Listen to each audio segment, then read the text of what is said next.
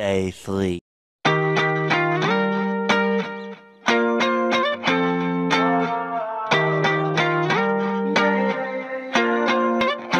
Why you always in the mood?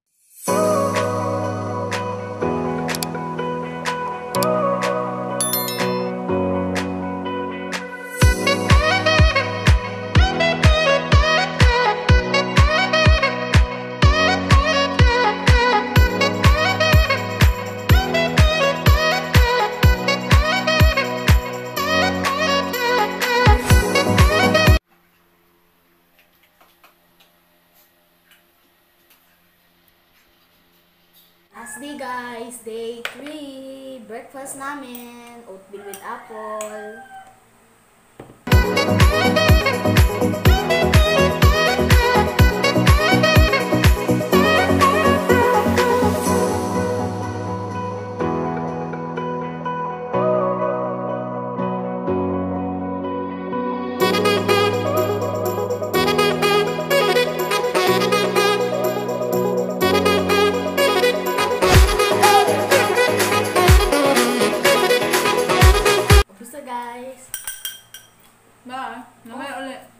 Yung coffee ubusin.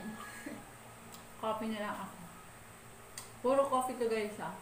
Walang halong ano. Walang halong gatas. Sa akin ho, meron.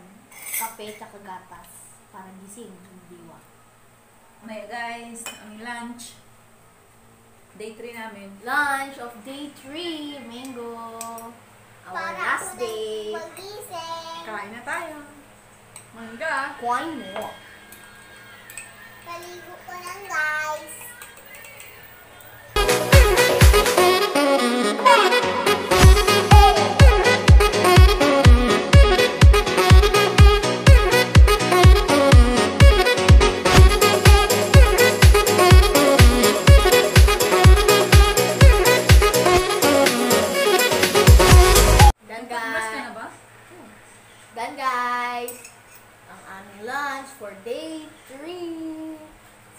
Kita-kits ulit guys sa dinner. Maya. Last niya. Oatmeal and banana.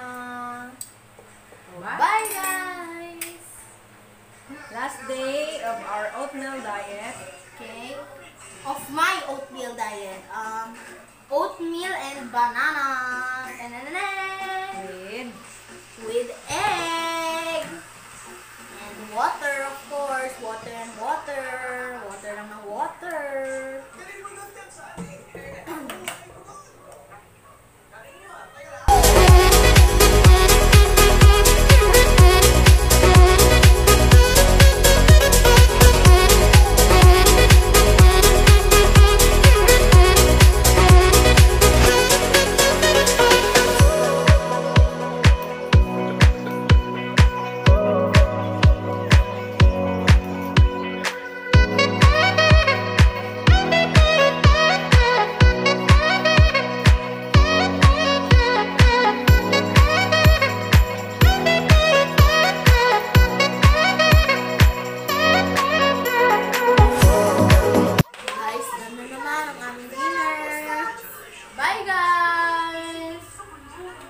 Hi vlog! Welcome to my guys! Channel to my subscribe.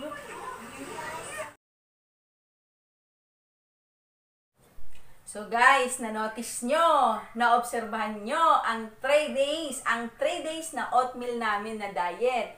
So na-challenge siya, na-challenge ko siya for 3 days. So na-obserbahan nyo naman, hindi niya kaya ang oatmeal, kailangan niya talaga may ulam. Naintindihan ko naman guys kasi alam niyo naman bata pa yung anak ko, 13 years old. So kayo, ikaw, ikaw ang tinutukoy ko na nanonood ngayon. Kaya nga ng anak ko na 13 years old. 13 guys ha na mag-oatmeal for 3 days lang. Ikaw pa kaya? Ah, bakit hindi mo itry mag 3 days kahit 3 days lang? Oatmeal diet. Ha?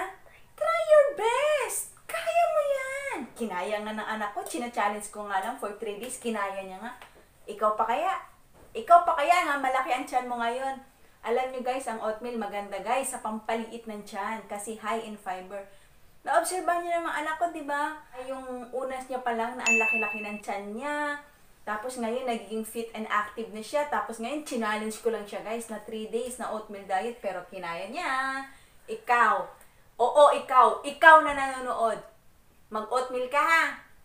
3 days lang. Try mo lang mag-diet. Ha?